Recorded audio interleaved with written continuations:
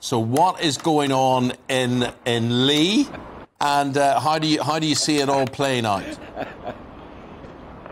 A very good morning to both of you and to everybody kind enough to be listening and watching to uh, GB News TV and radio it's called the People's Forum because it's not about me. It's about people like this, lovely people up and about early in the morning going to work.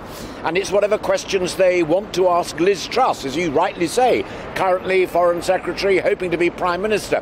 Whether they will ask her about what's written on men's loos as opposed to what's written on women's loos, I have no idea. But if they do, my sole function is to just make sure that she gives as straight an answer as possible to the questions that uh, folk have submitted. You'll know, both of you, uh, that a few days back we invited uh, listeners to all of the GB News TV and radio programmes to submit questions via questions at gbnews.uk, and we've been inundated. And what I find most fascinating is this that yes, there's a huge amount about the cost of living crisis. Yes, there's a huge amount about whether tax cuts is the answer or whether handouts is the answer, and that's the big Rishi versus Liz argument all over the newspapers this morning. Fascinating interview with Martin Lewis, the money saving, money saving expert in the Times as well. But they also want to know about what she would do if she was Prime Minister about the boat people, the immigrants, what she would do about Rwanda. She says she'd toughen it up, but what does that actually mean? Uh, there are questions about women and whether girls are safe to go to the loo when they're at school uh, and the rest of it. It's a very wide range of questions, and those questions are still coming in right up to the last minute. And as you rightly say, it'll be kick off at five o'clock.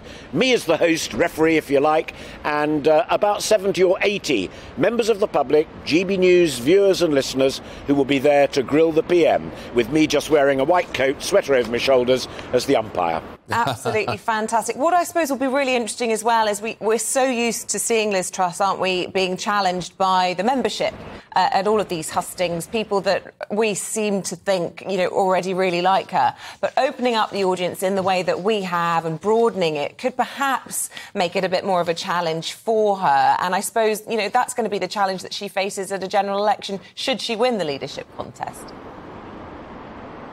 I think that that's very true, and she's particularly keen for it to be held here in Manchester at Leigh, just a, a, a, wee while away from here, because of course it is behind that infamous red wall. Uh, Leigh was a Labour seat back well, to the 1920s, even before Eamonn and I were reporting on these matters. Uh, but of course, in 2019, Boris and Brexit, it swung into the Tory camp.